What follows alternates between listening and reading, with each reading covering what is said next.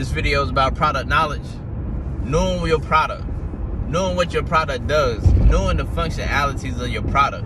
So when you when you present it to your customer, when you demonstrate it, that it'll be so flawless, not perfect.